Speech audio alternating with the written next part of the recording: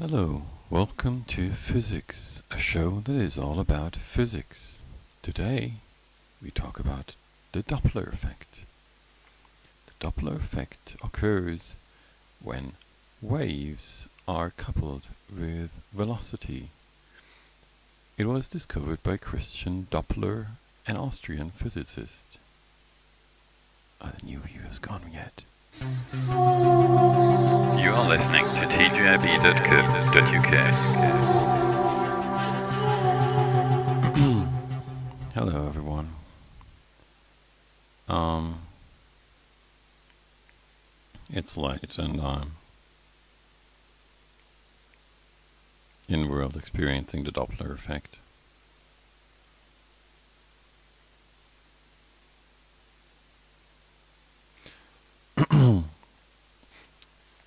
Which you actually can do if you um, basically it's a simulated Doppler effect. If you fly and change directions, the pitch of the flying sound changes. um,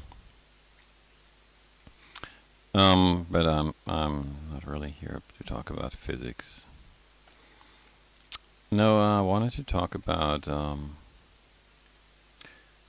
something else, and um, don't quite know how to start this. Um, let me start off by saying I'm a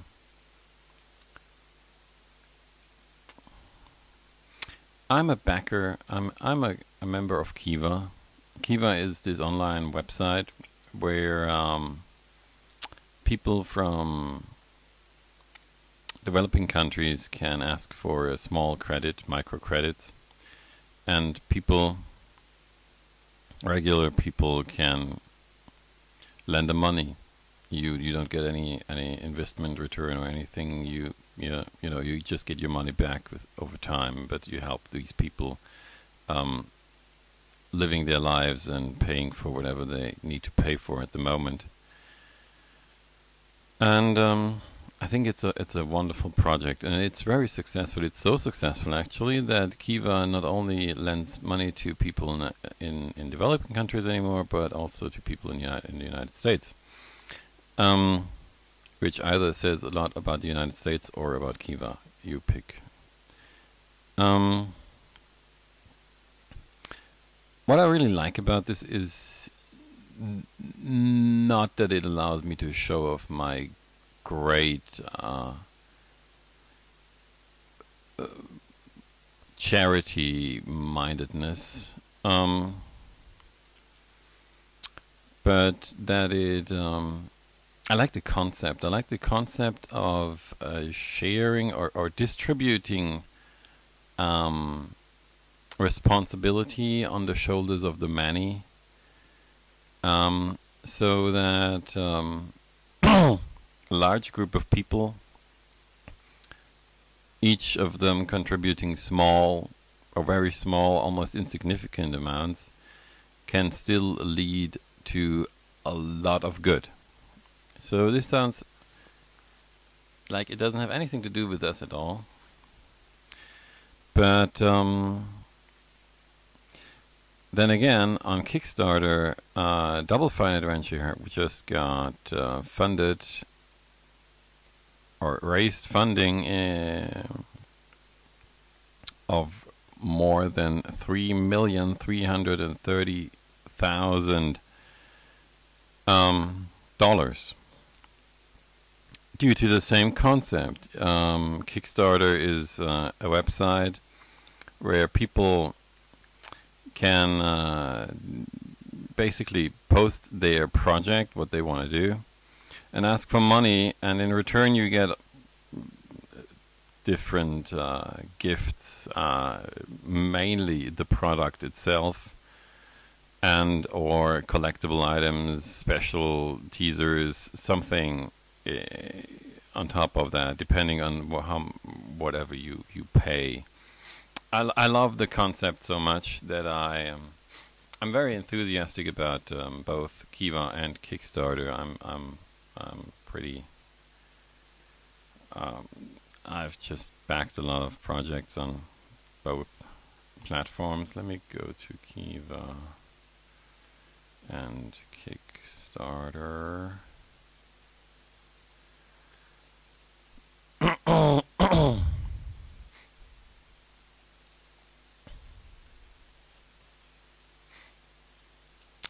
Kiva is on kiva.org, um, where they, you know, on the front page just display all these people and whatever it is they need money for. And um, Kickstarter is on kickstarter.com with the same thing. They display all these people's projects and what they need money for. Um, currently, hotbed is Wasteland 2, which is um, bound to get just as big as, as Double Fine Adventure. It's been running for not even a week and already raised almost 1.4 million dollars. Um, the original goal was 900,000, um, which they reached in less than two days. And this was the the largest um, goal on Kickstarter so far. Um, it it proves a few points. This this thing it proves a few points, which leads me to what I actually wanted to talk about today, and that is copyright. See, I'm not. I'm not. I'm in two minds about copyright. Not because I haven't up, made up my mind yet, but because I am living in a world where this um, made up mind of your of mine is not the one thing you want to um, be known for. Because I I don't I I am against copyright. I'm against copyright in in any form. Um, not for really not for ideological reasons. Um, because I I don't I don't buy into ideologies too much. But for very personal reasons, um, I always experienced the act of being creative as something that is a gift that um, it feels like to me it feels like when I create something this thing I created is not really mine. Because it it came to me just out of, out of its own volition. I I did not do anything to make it come about so it very, very much feels on a personal level like it is a gift from the gods. And I know that sounds so corny, I'm afraid to say it even. But that's how it feels. I'm I'm sorry. This is just I can't I can't uh, find any other uh, see even drove off the track there. Can't find any other way to say it. So this thing that I have, you know, been given myself, I cannot claim any rights to because it's not mine. It's it's a gift, and I'm just the. I'm basically the postman. I'm I'm the one who delivers the gift, but that doesn't make it any more mine. So I do not think anyone should ever claim ownership to anything created. now I know that this is not a, a, popular opinion and it's not one that you want to um, work with. Um, I mean, it's not something that it is in such a big contrast and conflict with the current international laws and uh, about copyright that I cannot possibly just act on it and, and, and ignore all the laws. So the second mind of me tells me that, yeah, we have copyright laws, and uh, being the law abiding citizen that I am, I have to have to play by the rules somehow. So I'm trying to bend the rules whenever ever I can and try to get this spirit um, of copyright as I see it, or, or of the lack of copyright as I see it, into the system as far as I can. Um,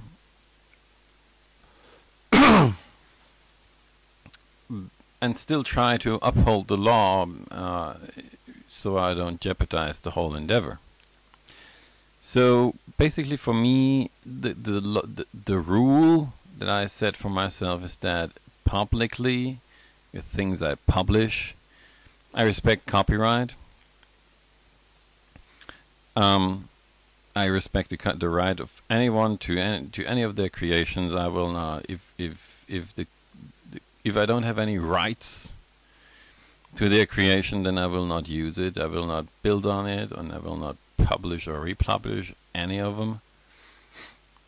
Um, which basically leads me to to a point where I have to, you know, consequentially say then I'm whenever I do something, I will I will use um, publicly licensed material because that is that which comes closest to my own ideology.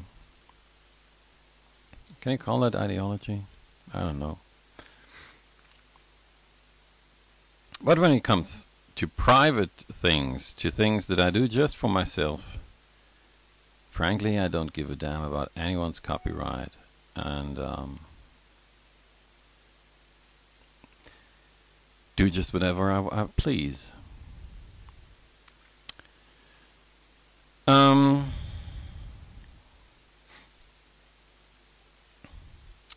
We are currently on TG Grid. TG Grid is a a grid that is dedicated to racing.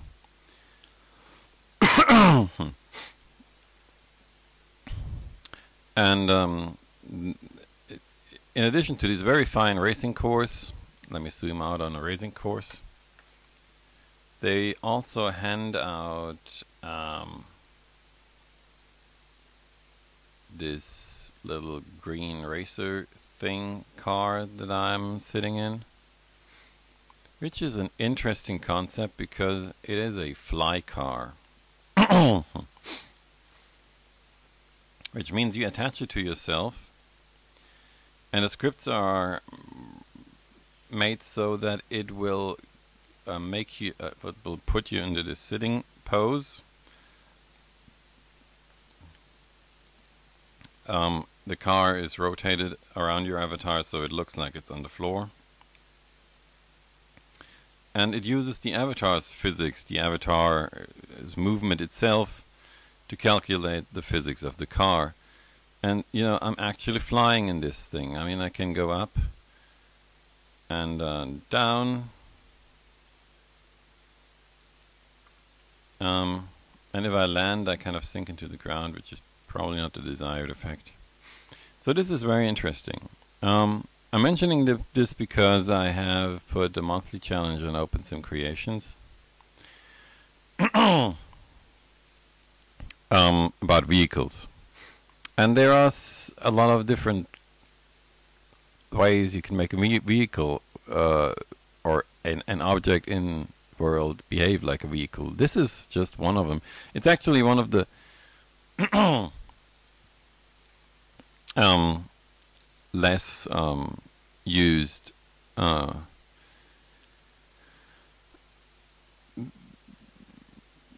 less used uh, mo models or less used uh, approaches to to it because you know uh, flying up and down.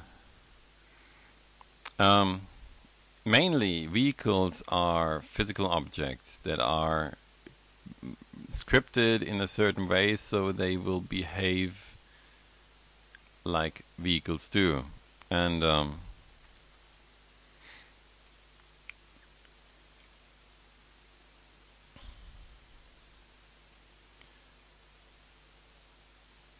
since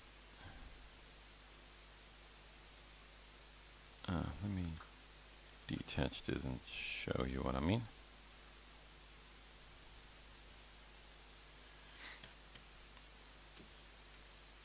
Um,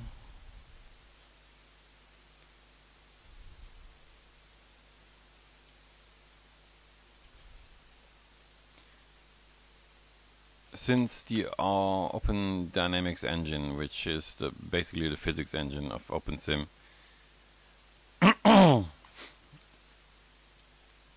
doesn't really um, work too well with drivable vehicles.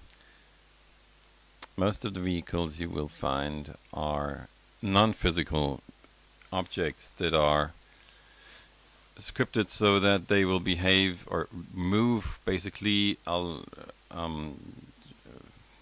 whenever you sit on them and act on your um, keyboard uh, directional keys or it will use the avatar's own movement for their well driving um, but there is a great um, package made by Nebadon, who is the admin of Osgrid.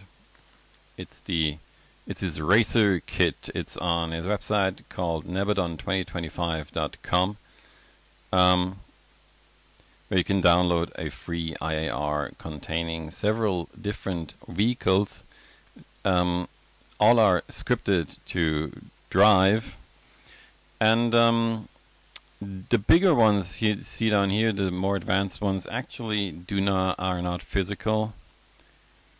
At least I think they're not. I'm not 100% sure, but the others I think are, and uh, they actually work pretty well. Um, surprisingly well. Um,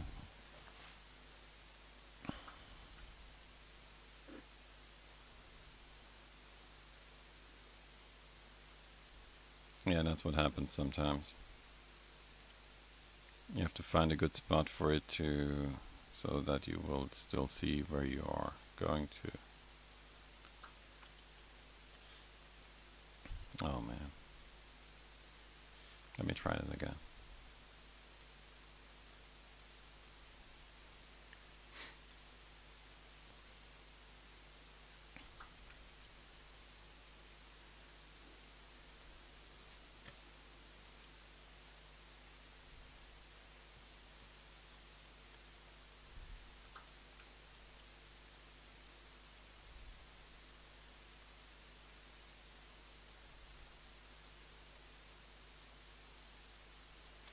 This is basically physics behaving the way they are supposed to behave. Or mainly are supposed to behave.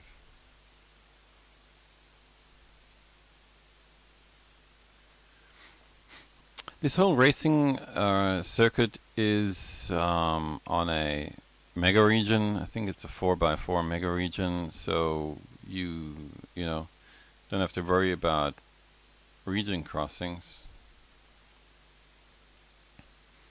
Um, and it runs really smooth. I remember Nebadon had a even bigger racing track on Osgrid at one point. I was there earlier and I couldn't find it anymore. Maybe I'm just looking in the right right spot. I think it was called a death race or something. Which was a, I think an, a 4 by 4 mega region, so 16 regions um, of sculpted terrain. It looked really nice and, and worked really, really well. And you can, you could just it, was mainly an off-road racing track. It was it was real fun. I, I hope it's still there or will come back anytime soon. So we are at physics. There we are with, with physics again. For some reason, I'm not working well anymore. And that is the reason why I enjoy OpenSim so much, really, because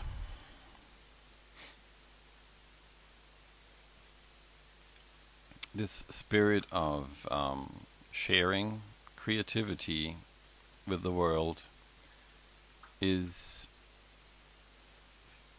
really very much alive in that community more than in any community I've been part of before so um, I'm very happy with it.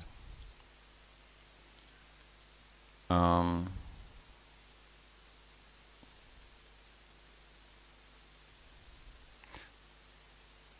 and I'm I'm always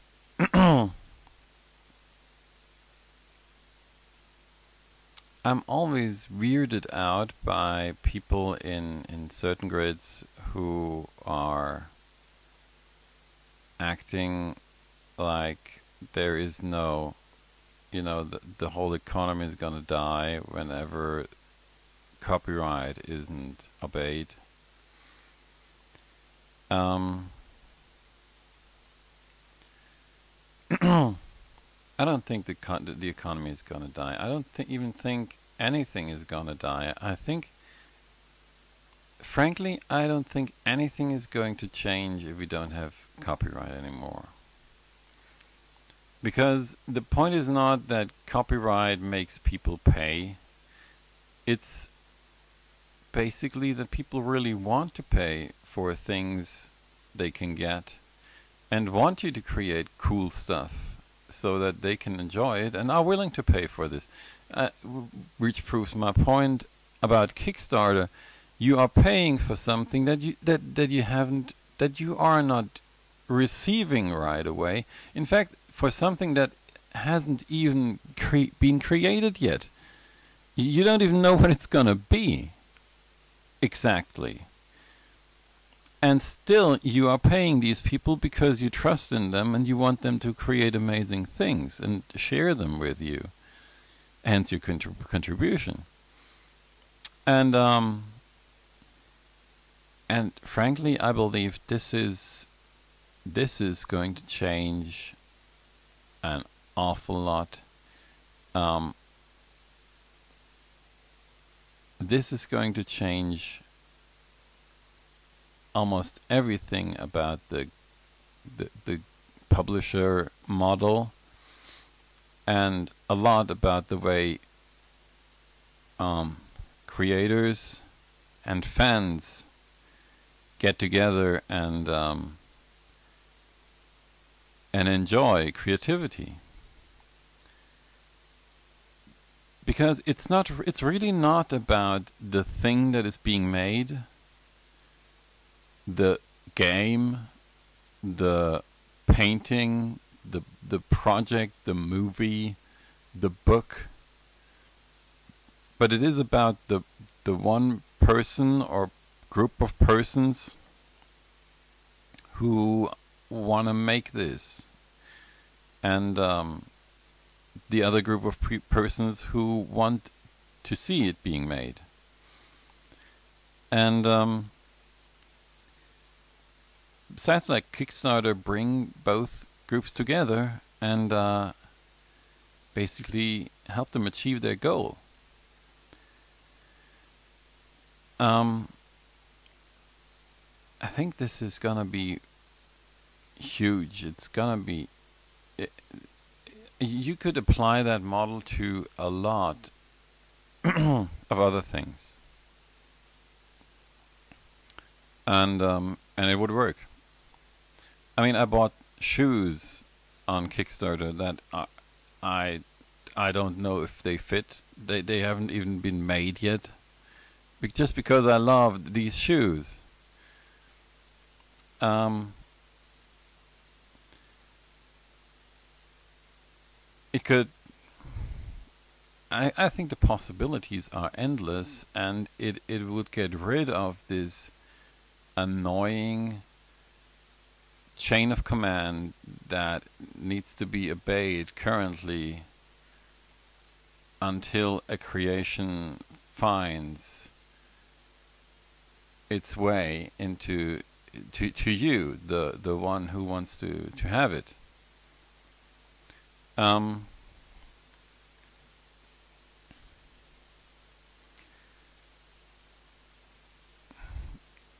so I'm I'm actually in good spirits that uh, in the near future a lot of things are going to change in regards to copyright and uh, probably for the better I mean from my point of view for the better for a lot of other people it's going to be for their perceived worse. And uh, if you're a publisher then it is for your actual worse. And um, if anyone is listening who's thinking about becoming a publisher, uh, I don't think you should pursue that particular uh, career just now. I think there's more value in, in other places. I think that's for today. Nothing interesting happened. Um, thank you for listening. And uh, see you.